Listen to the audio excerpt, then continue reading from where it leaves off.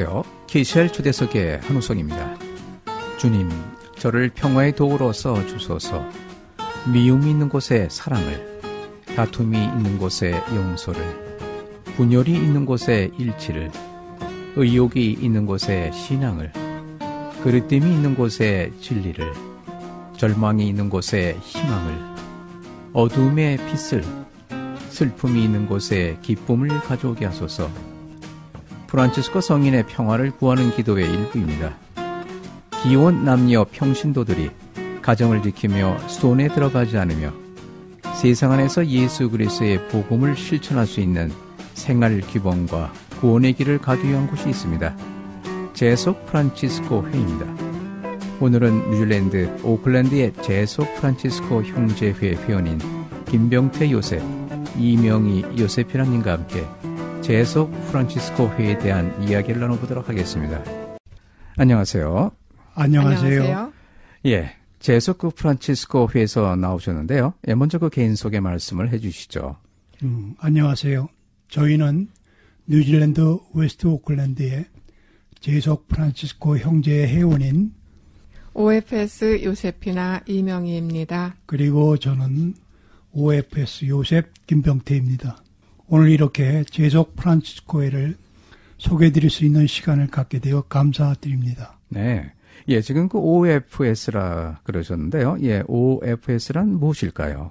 OFS는 말 그대로 제속 프란치스코 회원이라는 뜻으로서 원래 라틴어로 되어 있는데 라틴어는 좀 어려우니까 영어로 얘기하자면 O는 오더, 회라는 뜻이고 F는 Franciscan 회원이라는 뜻이고 S는 재속이라는 뜻을 갖는 secular라는 뜻입니다. 그래서 OFS는 재속 프란치스코 회원을 얘기합니다. 네.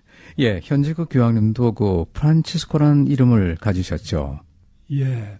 그 2013년 2월 265대 교황이셨던 베네딕토 16세 교황께서 고령의 나이로 베드로 사도직을 수행하기 어렵다고 갑작스럽게 자진 사퇴하게 됩니다.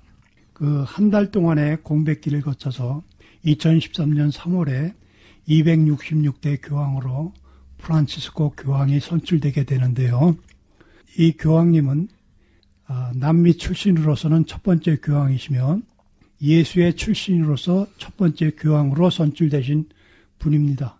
그래서 많은 사람들이 예수의 로일라의 이나시오 성인의 이름을 따라 교황명을 지을 걸로 예상했지만 놀랍게도 프란치스코 성인의 모범을 따르시고자 교황명을 프란치스코로 정하셨습니다. 이는 정령께서 시대적인 요청을 가감히 수용하시고 활동하고 계시다는 증거가 아닐까 합니다. 네. 예, 제속 프란치스코 회가 어떤 곳인지 알기 전에 예, 프란치스코 성인이 어떤 분인지 예, 소개를 좀 해주시죠.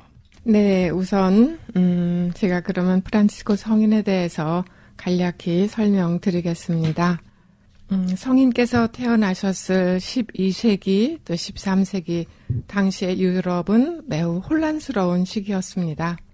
크게는 중동과 북아프리카를 차지한 이슬람 회교도와 유럽의 그리스도교와의 십자군 전쟁이 한창이었고 또 이태리 내부에서는 본권 귀족 계급과 평민 계급의 대립, 또 교황과 황제의 대립으로 사회적으로 대변혁의 시기였습니다.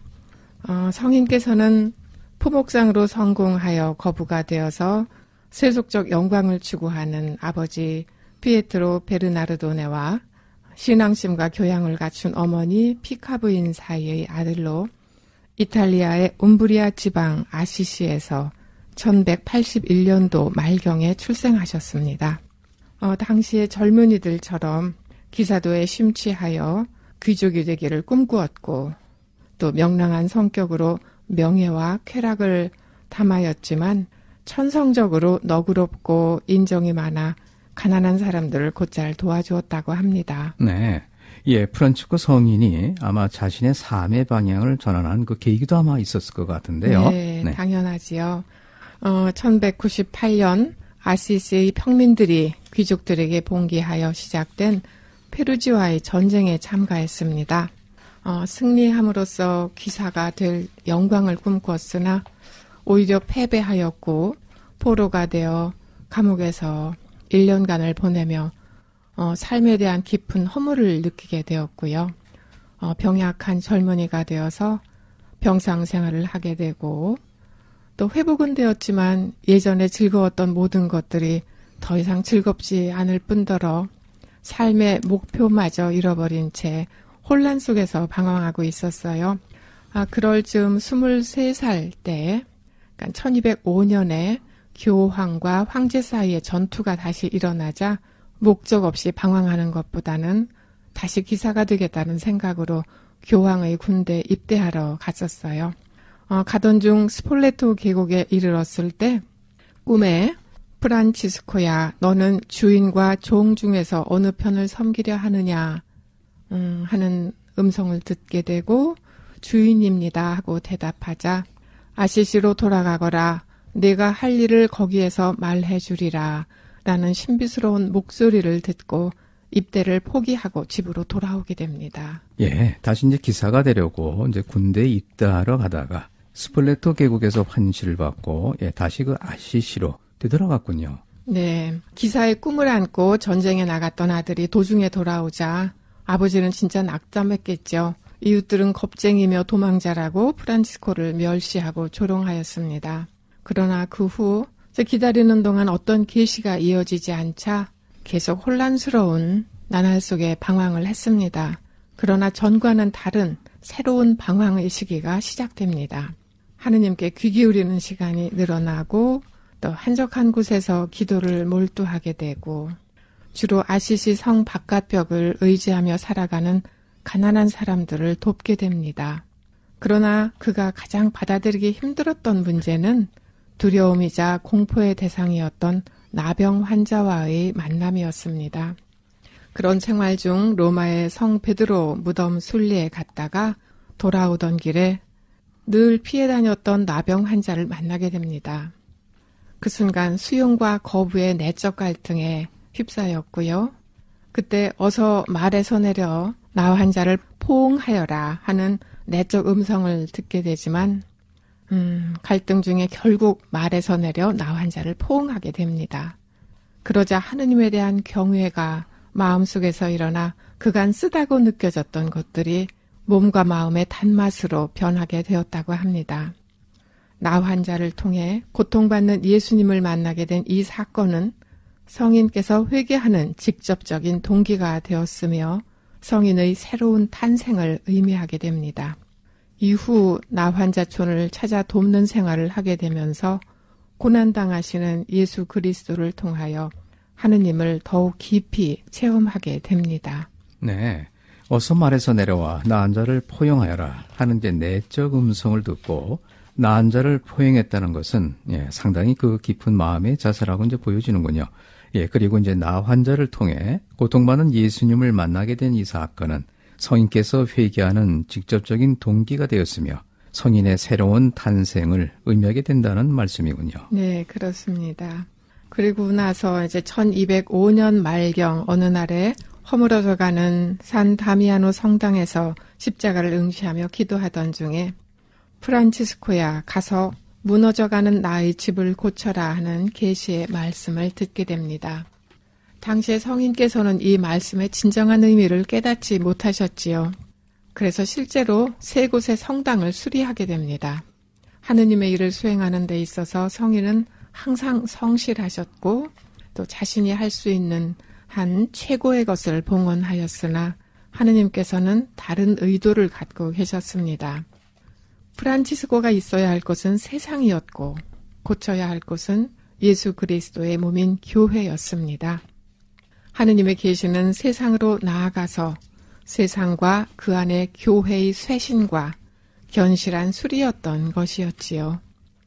음, 자신의 재산을 가난한 이들에게 나눠주고 또 그들 속에서 살아가는 그 아들의 삶에 못마땅한 아버지는 재산을 지키기 위해 이렇게 아들을 상대로 손해를 돌려받고 싶어서 종교 재판을 신청하게 되고요. 그 재판에서 프란치스코는 입고 있던 모든 의복을 벗어 아버지에게 돌려주면서 앞으로 나는 피에트로 베르나르도네를 아버지라 부르지 않고 하늘에 계신 하느님만을 아버지라 부르겠다라고 선언함으로써 1206년 4월 세상과 결별하고 새로운 삶을 살게 됩니다. 프란치스코는 스스로 어떤 계획을 세우거나 누군가에게 지도를 받는 것이 아닌 하느님께 대한 확신으로 인도된 것이었습니다. 예, 다미아노 성당에서 기도하던 중에 가서 무너져가는 나의 집을 고쳐라 하는 제 계시를 받게 되는군요. 그러나 그 계시의 본 뜻은 성당 수리가 아니라 고쳐야 할 것은 예수 그리스의 몸인 교회였다는 예, 말씀입니다. 예, 그런데 그 지금의 그 프란치스코 회는 어떻게 시작이 됐을까요? 음, 주님과 복음만이 프란치스코의 길이 되었고요. 또 법정을 통해 새롭게 회개의 삶을 시작한 프란치스코 성인은 그 이후 극도의 가난 속에서 일하며 가난한 사람들과 나 환자들을 위한 헌신적인 삶을 살게 되는데 이 헌신적이고 복음적인 성인의 삶에 감화된 형제들이 그의 제자가 되기를 위해 동참하게 됩니다.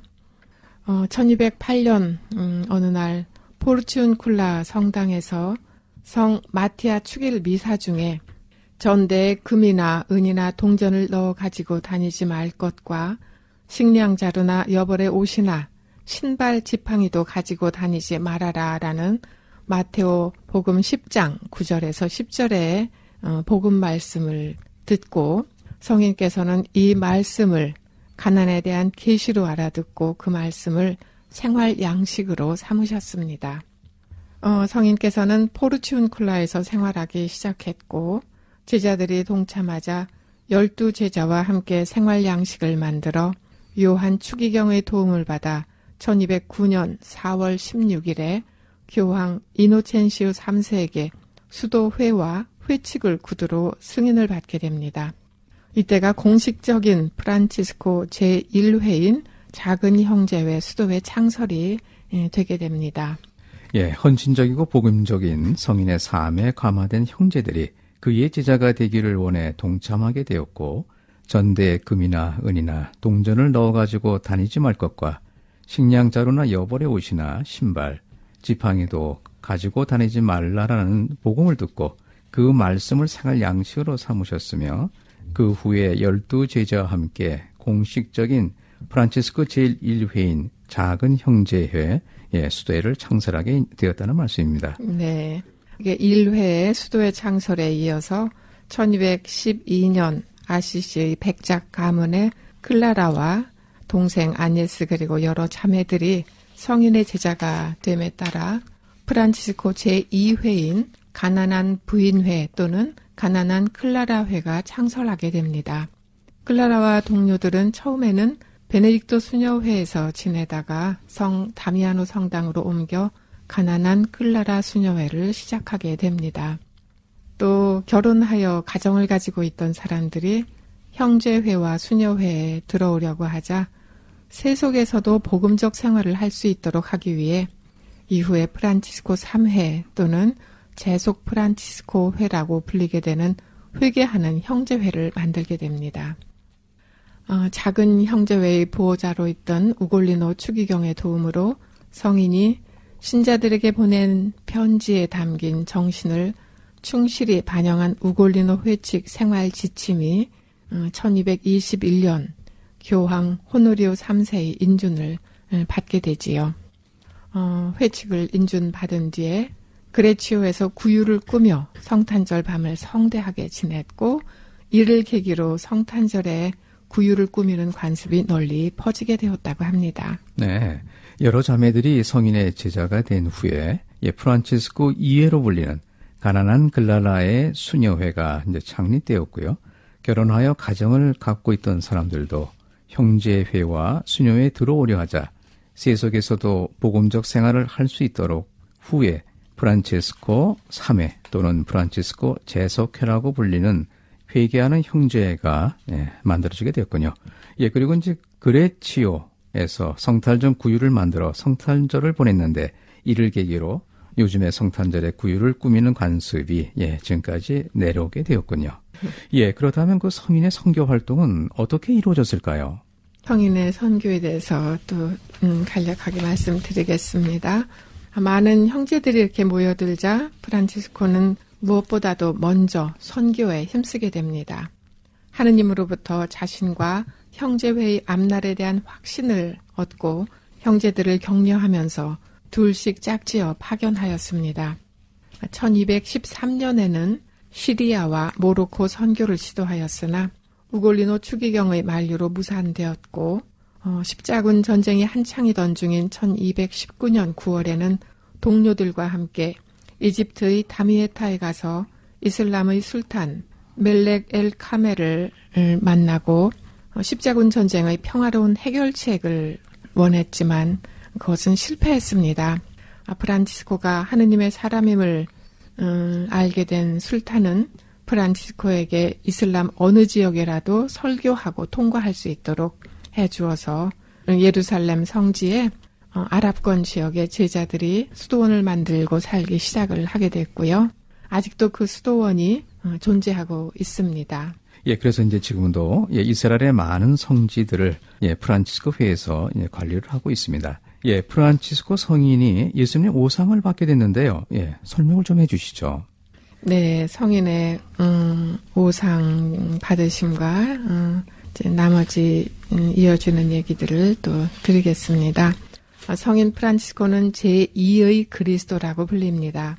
그만큼 철저하게 그리스도의 발자취를 따르려 했으며 우리를 위해 희생하신 예수님의 십자가 고통까지도 간절히 원하셨는데 그 예수님의 오상을 받게 됩니다. 성인께서 돌아가시기 2년 전인 1224년 9월 17일 라베르나 산에서 성 미카엘 대천사 추기를 준비하는 40일 기도 중에 세라핌 천사의 환시를 보게 되었고 그 후 성인에게 주님의 다섯 상처가 각인되는 고통을 느끼게 됩니다. 성인의 우상은 순환의 그리스도를 직접 담도록 자신을 변화시킨 의미를 지니며 그리스도의 비하, 곧 신성, 포기, 셀프 엠팅이라고 표현을 하는데요. 즉, 가난의 구체적 표지이고 성인의 일생을 극적으로 요약하는 사건이었습니다. 순교하고자 했던 성인에게 하느님께서는 오상이라는 특별한 고통을 통해 그분이 열망하던 순교를 체험하게 하셨으며 오상을 통해 완전한 해방을 체험하게 되었습니다. 예, 그리스도께서 겪으셨던 오상의 고통을 통해 예, 순교를 체험하고 완전한 해방을 체험하게 되셨군요. 그 후 성인은 점차 쇠약해지면서 성 다미아노 성당의 움막에 거처하시면서 제대로 걸을 수도 없으셨고 거의 실명 상태인 극도의 고통 중에서도 아름다운 태양의 노래를 지어서 하느님의 창조물들을 찬미하였습니다. 치료를 위한 의사들의 노력은 헛되었고 또 성인은 아시시로 돌아와 유언을 작성하고 태양의 노래 마지막 구절인 자매인 죽음을 노래했습니다. 성인은 죽음의 마지막 순간까지도 복음서를 곁에 두고자 했으며 동료들에게 나의 아들인 여러분 하느님을 경외하는 가운데 당신들께 작별을 고하니 항상 그분 안에 머무르십시오. 나는 이제 하느님께로 가며 당신들 모두를 그분의 사랑에 맡깁니다. 라고 축복하였습니다. 1226년 10월 3일 해질 무렵이 되자 주님의 죽음과 일치하고자 하는 간절한 원의로 성인은 형제들에게 자신의 옷을 벗겨 바닥에 뉘어놓기를 청하였고 또한 시편 142편을 낭독해 주기를 청하였으며 죽음의 순간에는 형제들이 낭독하는 복음 순환기 요한 13장 1절 말씀을 들으며 그분 안에 하느님의 신비가 다 이루어졌을 때 그의 영혼은 육체에서 풀려나와 하느님 영광의 시면으로 들어가고 하느님 안에 잠들었습니다.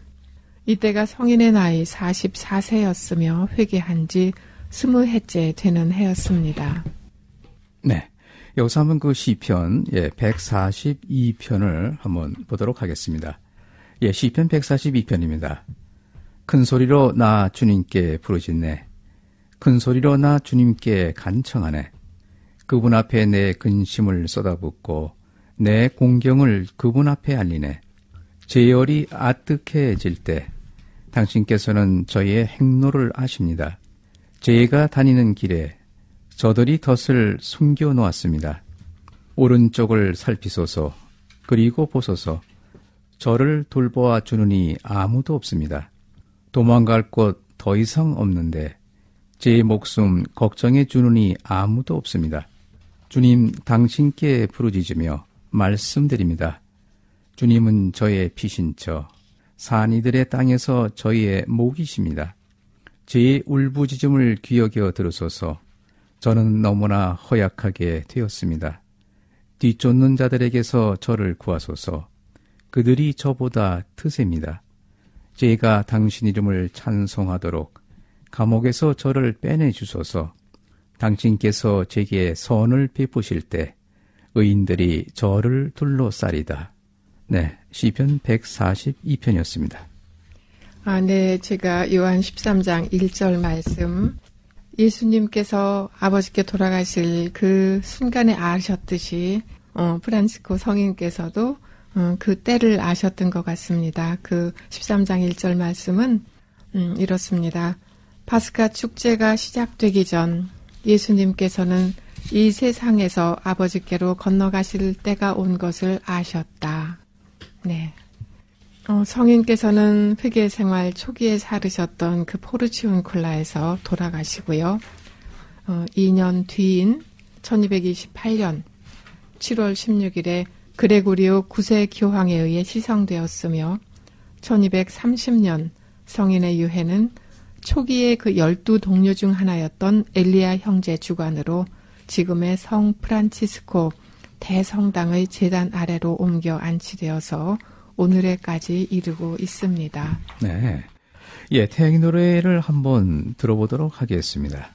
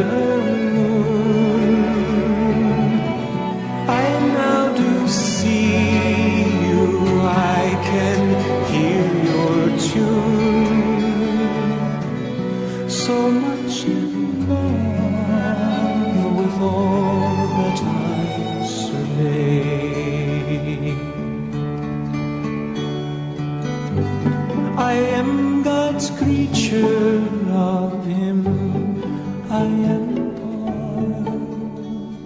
part. I feel His love away.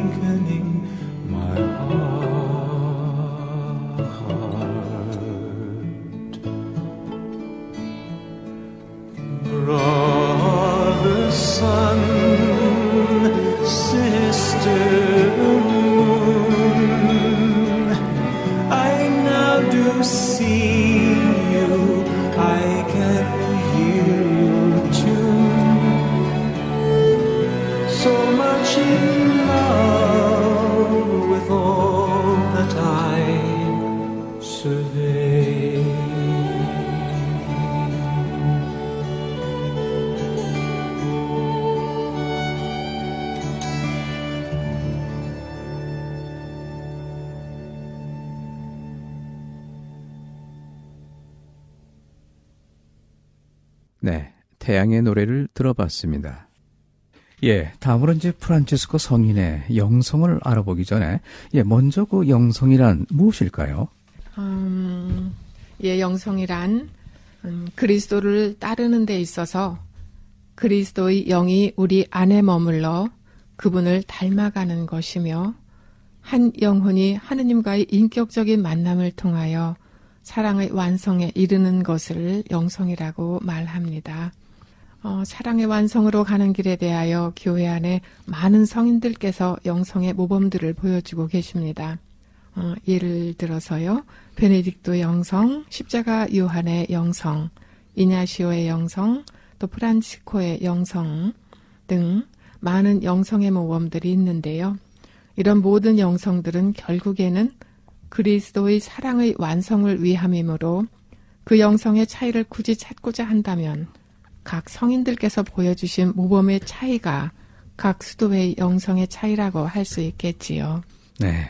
영성이란 그리스도를 따르는 데 있어서 그리스도의 영이 우리 안에 머물러 그분을 닮아가는 것이며 한 영혼이 하느님과의 인격적인 만남을 통하여 사랑의 완성에 이르는 것을 말하는 것이군요.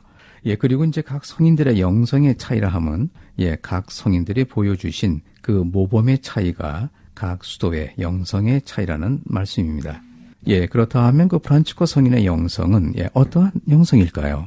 음, 쉬운 이해를 위해서 베네딕토의 영성을 함께 말씀드려 보겠습니다. 대표적으로 베네딕토의 영성을 정주 영성이라고들 합니다. 정주란 글자 그대로 한 곳에 머물러 있다는 뜻으로 수도원이라는 정해진 장소 안에 머물며 관상이 중심이 되는 음, 영성입니다. 프란치코의 영성은 음, 탁발 영성이라고도 하는데요. 그 성인께서 다미아노 성당에서 계시를 받았을 당시에 처음에 말씀 음, 하느님의 음성을 들었던 가서 무너져가는 나의 집을 고쳐라 라는 말씀 부분에서 가서라는 부분이 세상으로 가서 그래서 탁발 영성이라고도 하고 고 영성이라고도 합니다. 어, 바로 복음 전파와 교회 쇄신을 하기 위한 것이었지요. 어, 성인께서 다미아노 성당에서 계시를 받았을 당시에는 단지 무너져가는 교회를 수리하라는 뜻으로만 받아들였지만 나중에 그 뜻이 복음 전파임을 깨닫고 어, 예수님께서 제자들을 파견하시며 하셨던 말씀에 따라서 전대, 식량, 여벌의 옷과 신발, 지팡이도 없이 음, 프란치코 성인께서도 제자들을 파견하셨어요. 그리고 그 말씀을 항상 생활의 양식으로 삼으셨습니다. 이렇듯 단순하게 말해서 복음의 실행이 곧 프란치스코의 영성이라고 말할 수 있습니다. 또 Franciscan 회칙에 들어있는 gospel to life, life to gospel이라는 말이 있습니다. 어, 삶이 복음이 되고 복음이 삶이 되는 그런 삶, 주님의 말씀에 따라 회개하는 복음적 생활을 사는 것이 바로 영성이라고 하겠습니다. 네. gospel to life, life to gospel. 예.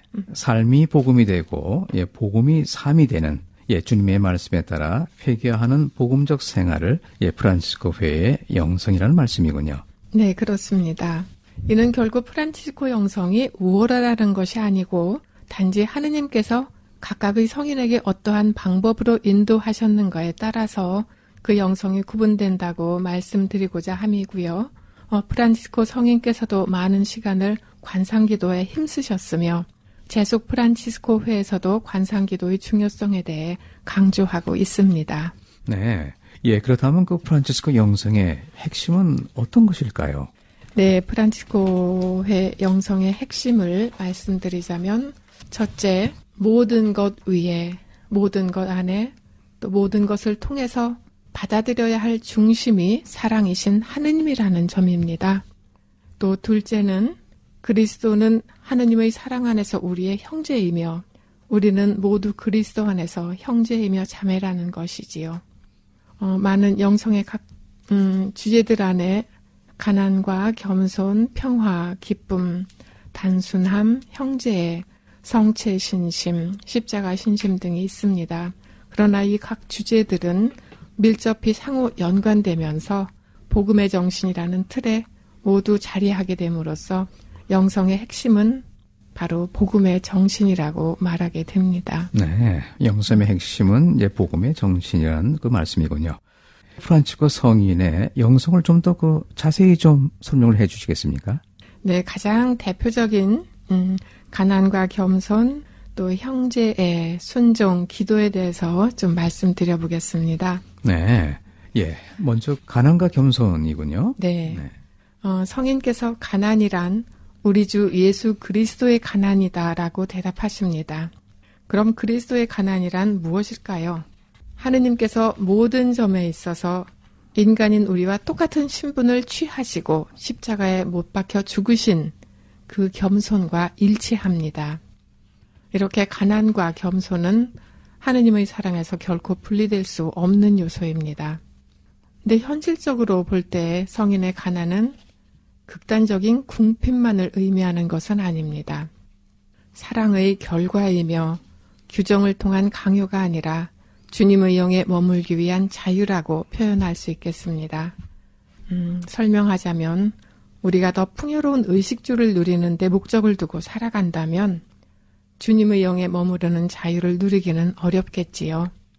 곧 물질적 가난에 앞서 물질적 재물을 포기하는 차원을 넘어서는 것이며 복음적 가난이 요구하는 내적 마음의 자세를 갖는데 수반되어야 할 조건이 된다고 보겠습니다.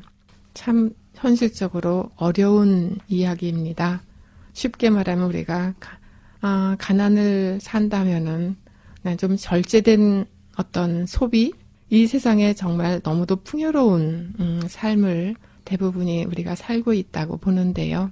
정말 음, 가난한 사람들 복음의 말씀을 생각하면서 어, 절제된 우리의 삶을 살아가려고 노력하는 것 그것을 한 번쯤 되새겨 보면 좋겠다고 생각을 합니다. 네. 예, 가난이란 우리 주 예수 그리스도의 가난, 인간의 신분을 취하시고 십자가에 못 박혀 죽으신 겸손, 성인의 가난은 극단적인 궁핍만을 의미하는 것이 아니고 물질적 가난에 앞서 물질적 재물을 포기하는 차원을 넘어서는 복음적 가난을 요구하는 내적 마음의 자세로 가난은 이탈과 비움의 내적 마음 상태를 표현하며 매일의 회개 생활과 관계가 있다고 네, 요약이 될 수 있겠군요. 네, 저희가 한 가지 짭 빠뜨린 게 있어서요. 어, 이제 대림이 이제 곧 음, 11월 지나고 나면 이제 시작이 되는데요. 이 가난은 또 우리가 어, 아기 예수님을 우리 안에 모시기 위한 또 매일의 또 생활의 어, 회개에서 필요한 이탈과 비움의 내적 마음 상태를 표현한다고도 말할 수 있겠습니다. 네. 성인이 가난에 대하여 한 가지 덧붙여 예, 예, 예. 설명해도 될까요? 어, 처음에 프란치스코 교황의 등장을 얘기할 때 시대적 요청에 의한 성령의 활동의 증거라고 말을 했는데요. 우리는 오늘날 어느 시대 때보다도 물질적으로 아주 풍요로운 시대에 살아가고 있습니다. 그 풍부함에도 불구하고 현대인들은 부가 주는 안락함과 쾌락함을 더 많이 누리기 위해 또 그것이 행복이라고 여기고 더 많은 것을 소유하고자 애쓰고 있습니다. 그러다 보니 현 시대는 점점 더 개인적이고 이기적인 사회로 변해가고 있습니다. 이런 의미에서 프란치스코의 성인의 가난이라는 영성이 필요로 되는 시기에 프란치스코 교황이 등장하게 된 것은 시대적 요청이 된 것이라고 말하게 된 것입니다. 그러면 재속 프란치스코 회원들은 부자로 살면 안 되는 것 아니냐 하는 질문이 나올 수도 있습니다. 그런 얘기도 종종 듣는데요. 복음 말씀에 보면 부자가 하늘나라에 들어가는 것은 낙타가 바늘구멍을 통과하는 것보다 어렵다 했습니다. 이는 부의 속성을 경고하는 것이지 성서 어디에도 부자가 되어서는 안 된다고 말하는 기절은 없는 것 같습니다. 세리였던 자케오는 음, 자신의 재산의 일부를 가난한 사람에게 나눠주고 부당한 이득에는 네 배로 배상할 것을 예수님 앞에서 약속합니다. 이 부당한 이득을 네 배로 배상하겠다는 것은 앞으로 정의롭게 살되, 살겠다는 약속이며 이 가난한 사람과의 나눔과 배려 이런 복음 말씀에 따라서 물질적, 정신적으로 절제된 생활 속에서 더불어 함께 사는 세상을 열어가는 그래서 예수님께서 말씀하신 love one another 서로 사랑하라는 복음 말씀을 실천하는 마음이 가난한 제속 프란치스코 회원으로 살아가도록 노력하는 것이 프란치스코 성인의 가난의 모범을 따르는 것이라고 할 수 있겠습니다. 네. 예, 이제 그 다음의 영성은 예, 형제인데요. 예, 형제란 네. 무엇일까요? 네. 어, 성인의 영성에서 형제에는 아주 고유한 부분으로서 성인은 모든 인간을 형제로 만났으며 형제인 인간 안에서 예수 그리스도를 만났습니다. 모든 인간들은 하느님의 자녀로 구성된 한 가족이라고 성서를 통해 우리는 알고 있습니다. 성인께서는 인간들 뿐만이 아니라 하느님께서 창조하신 우주의 모든 만물들이 한 형제요 자매라는 진리를 깨닫고 한 가족으로서 형제애를 나누기를 바랐습니다. 그러기에 성인에게 있어서 세상의 모든 곳이 당신의 거처가 되었고 모든 피조물 안에서 하느님을 만나고 대화하면서 감사와 찬미의 노래를 부를 수 있는 순례자로서의 삶을 살아온 것이었습니다. 어, 태양의 노래는 피조물 안에 있는 아름다움, 선함과 유익함을 감지하여 우주적 형제로부터 우러나 만들어진 음, 결정체라고 할 수 있으며 이탈리아어로는 첫 번째로 쓰여진 문학적 가치를 갖는 작품이라고 합니다. 그럼 여기서 태양의 노래를 잠깐 살펴봐도 될까요? 네, 그렇게 해주시죠. 네. 어, 이 태양의 노래는 1절에서 14절로 구성이 되어 있고요.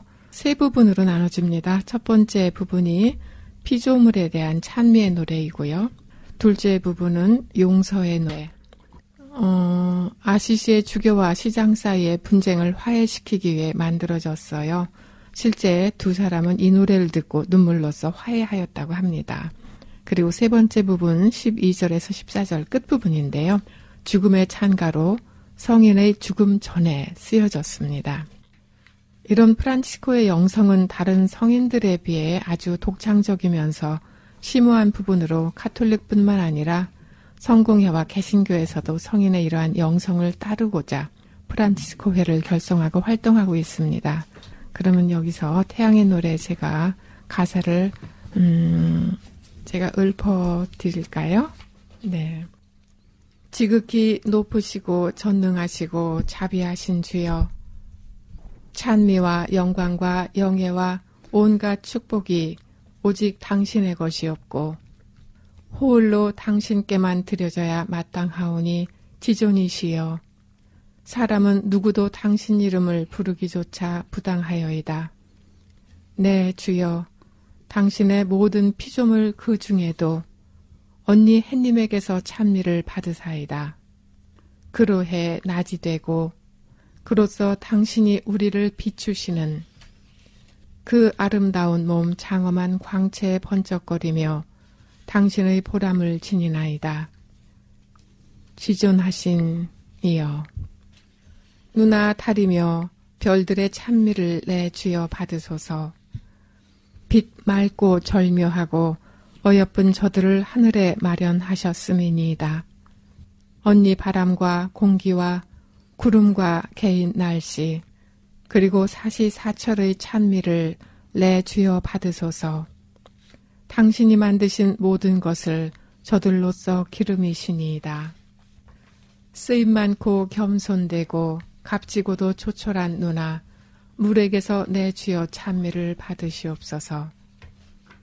아리답고 재롱피고 힘세고 용감한 언니, 불의 찬미를 내 주여 받으옵소서. 그로써 당신은 밤을 밝혀 주시나이다.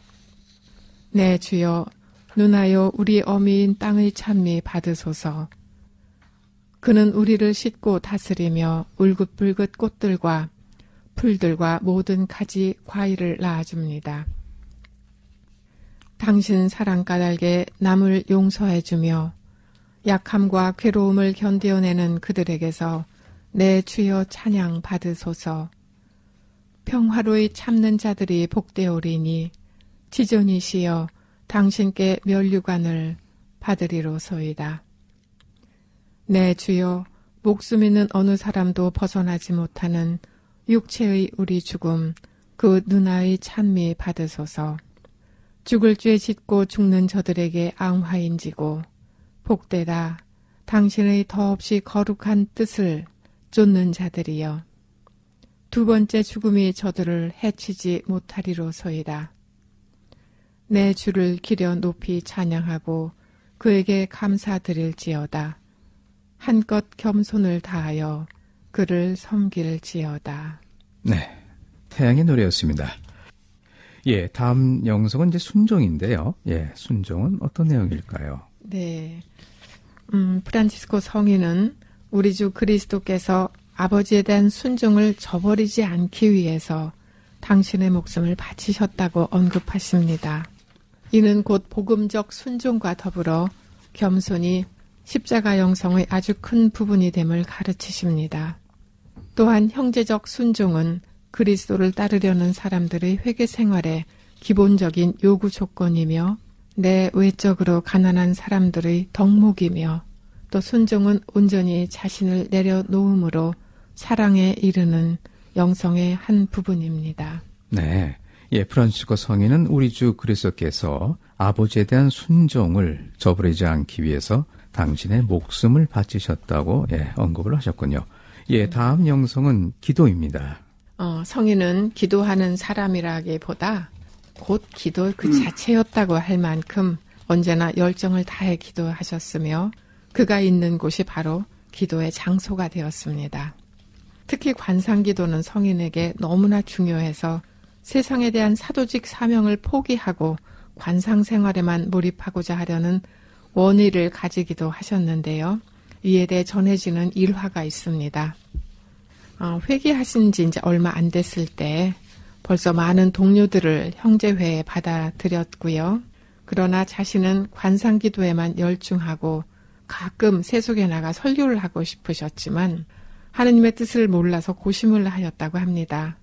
또한 하느님의 거룩하신 뜻을 알고 싶었지만 마음속에 깃든 겸손 때문에 자기가 직접 기도하여 알아보려 하지 않으시고 다른 사람의 기도 속에서 하느님의 뜻을 찾아보려고 하였답니다. 성인이 글라라 성녀와 다른 동료들을 통해 받은 응답은 그리스도의 뜻은 사부님이 세상에 나가 널리 설교하는 것입니다. 하느님께서 사부님을 뽑으신 것은 사부님 한 사람을 구원하고자 함이 아니라 동시에 다른 많은 사람들을 구원하기 위함입니다. 라는 것이었어요. 성인은 그러한 그리스도의 뜻을 알자 큰 열정에 복받쳐 벌떡 일어나 자 주님의 이름으로 모두 나갑시다 하며 형제들을 동반하고 길을 떠났다고 합니다. 어, 성인의 많은 일화를 담은 잔꽃송이라는 책이 있는데요. 그 책에 보면은 짧게 이렇게 표현이 돼 있어요. 그는 끓어오르는 열정에 못 이겨 밭길을 가리지 않고 무작정 걸었다라고 어, 쓰여 있습니다. 네. 예, 성인은 기도하는 사람이라기보다 예, 곧 기도 그 자체였고 성인이 크라라 성녀와 예, 다른 동료들을 통해 받은 응답은 그리스의 뜻은 프란치스코 성인이 세상에 나가 널리 설교하는 것입니다. 하느님께서 프란치스코 성인을 뽑으신 것은 프란치스코 한 사람을 구원하고자 함이 아니라 동시에 다른 많은 사람들을 구원하기 위함이었다라는 말씀이군요. 예, 오늘은 여기까지 이야기를 나누고 다음 시간에 또 이야기를 나눠보도록 하겠습니다. 감사합니다.